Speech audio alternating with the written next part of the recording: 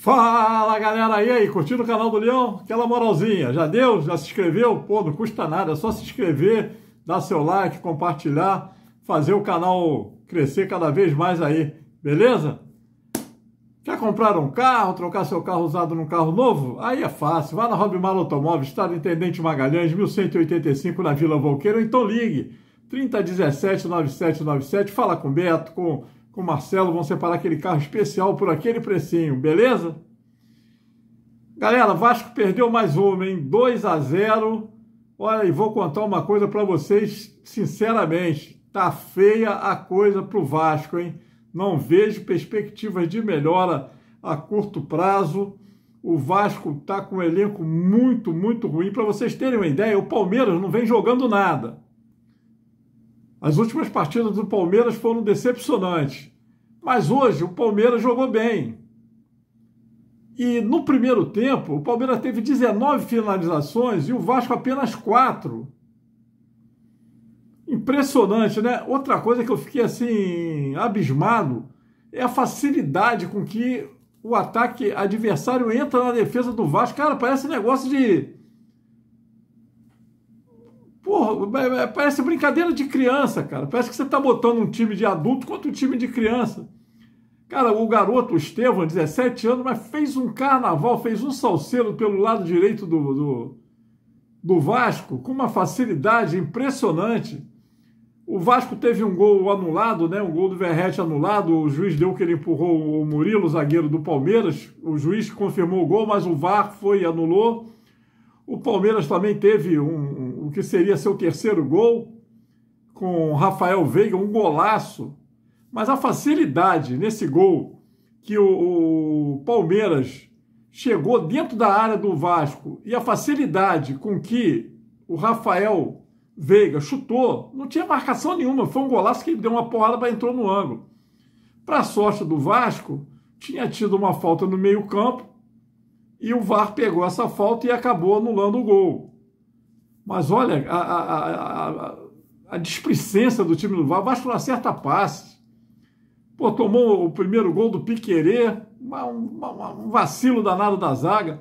Tomou o segundo gol do, do Rony. Pô, o Estevam fez um carnaval pelo lado direito.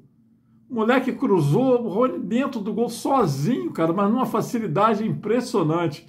Cara, eu não sei como é que o Vasco vai se virar. Tá nessa questão com a Sérvia em Sérvia, Sérvia aí, que foi um péssimo negócio que o Vasco fez. Essa, essa SAF aí, porra, tá falindo, faliu tudo que é onde que ela andou, tá, tá falindo, né? Perdeu o Everton da Inglaterra e, e só fazendo lambanças pelo mundo afora. Tá nessa briga aí judicial com o Vasco o Vasco precisa de reforço urgente. Essa janela agora, o Vasco tem que contratar pelo menos cinco reforços de peso. Mas como, se não tem dinheiro? Pô, tem que dar um jeito, cara. Eu não sei, o Pedrinho, né, o, que é ídolo da torcida, é o presidente, tirou, conseguiu tirar a SAF, né, livrar o Vasco da SAF. Mas tem que dar um jeito, tem que, que arrumar o empréstimo, é, é, eu até sugiro uma vaquinha virtual entre os torcedores. Pô, se cada torcedor do Vasco contribuir aí com 10 reais, o Vasco consegue contratar pelo, contratar pelo menos dois jogadores, dois grandes jogadores. Porque precisa, e, e pior não é isso, não que não precisa só de grandes jogadores, não, também precisa de jogadores bons, como, normais, porque os que estão são muito fracos. Nossa, é, é assim, e, e displicente, sem tesão. Pô, eu, depois daquela vergonha diante do Flamengo, eu achei que os caras hoje, pô, vai ganhar do, do Palmeiras, vai para dentro do Palmeiras, pô, vai dar uma recuperada na moral, né? Para dar um, ânimo para a torcida, por mais nada.